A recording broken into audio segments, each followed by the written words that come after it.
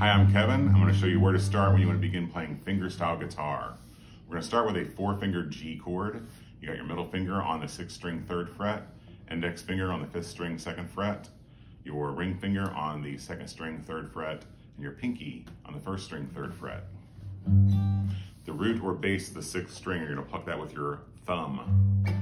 Then you're going to pluck up on strings three, two, and one with finger, index finger on string three, your middle finger on string two, and your ring finger on string one. Bass pluck, bass pluck, bass pluck. Start there, you'll be well on your way.